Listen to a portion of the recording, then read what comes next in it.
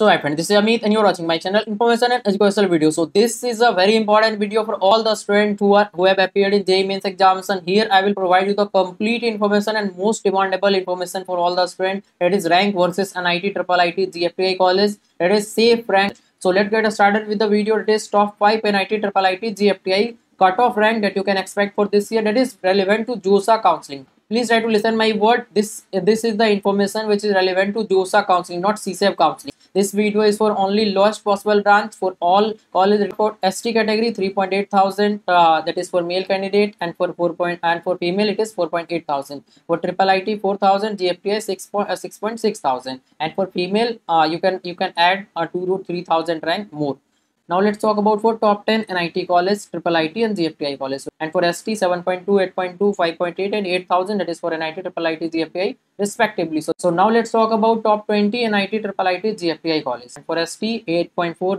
9000 uh, and triple IT 8000, GFTI 14000. And this is the category rank. Don't be confused for general, it is uh, CRL rank, and for other other category, it is EWS, OBC, SC, ST. Uh, it is the category rank. That is corresponding category rank I have considered. So now let's talk about for lowest possible NIT, triple IT, GFTI. That is minimum score that is highest rank up to which you can get. For ST, it is 12 and 15,000 triple IT 18,000 GFTI 20,000 so this was all about the complete information about NIT triple IT GFTI for top 5 top 10 top 20 lowest everything I have considered here that is the minimum a score that is highest rank up to which you can get the college that is with lowest possible branch. So hope you get this information very useful for you. So please try to support this channel by doing more subscription to this channel so that I will get some support from your side. And if you want the complete guidance you can contact me through Instagram or WhatsApp number. And this guidance is applicable for all counseling whatever you will do this year not only for JoSAA and CSAB but for other counseling whatever you will do so that you will able to join the best college by the end of this year. Thanks